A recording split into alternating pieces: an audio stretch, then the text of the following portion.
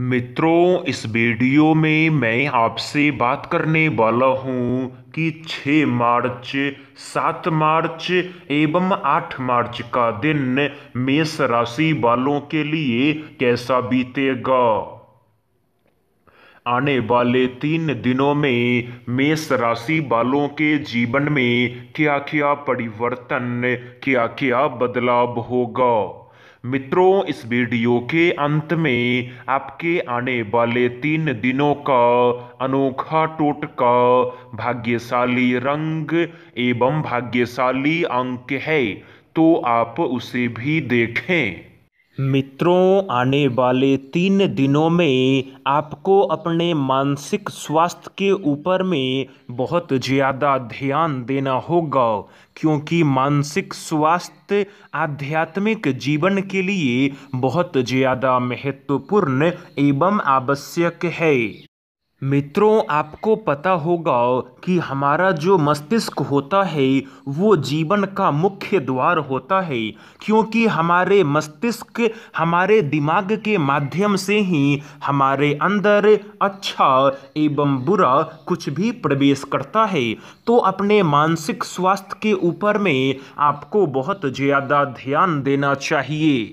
मित्रों, आने वाले समय में ऐसी संभावना है कि आपका कोई पड़ोसी या कोई ऐसा व्यक्ति जिसे आप जानते हो, जो आपके जान पहचान का हो, ऐसा कोई व्यक्ति आपसे उधार में पैसा मांगने आएगा।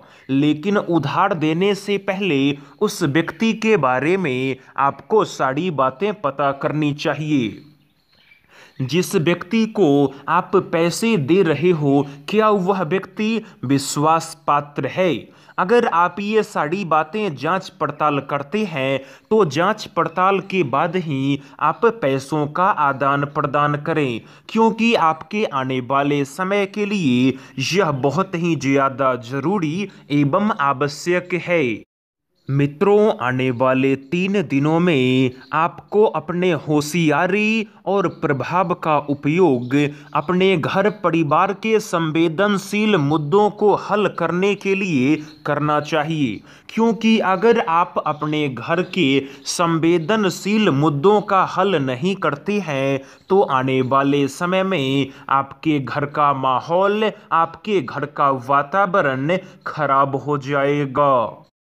तो इसके बाद बात करते हैं कि आने वाले समय में आपके लिए अनोखा टोटका भाग्यशाली रंग एवं भाग्यशाली अंक क्या है?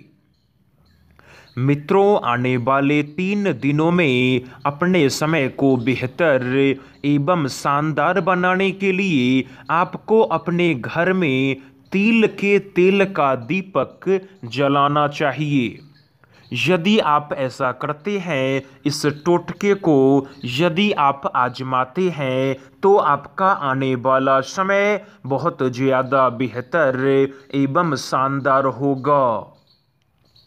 मित्रों, आने वाले समय में आपके लिए भाग्यशाली रंग है सिल्वर और सफ़ेद। आपके लिए भाग्यशाली अंक है दो, यानी कि टू। तो मित्रों, यही था आपके आने वाले तीन दिनों का राशि फल तो आगे बढ़ने से पहले इस वीडियो को आप लाइक कर दें, साथ में इस चैनल को आप सब्सक्राइब कर दें।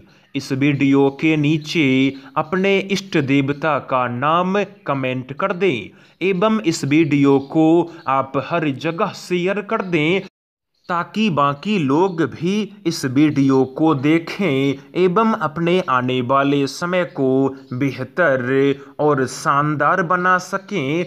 धन्यवाद।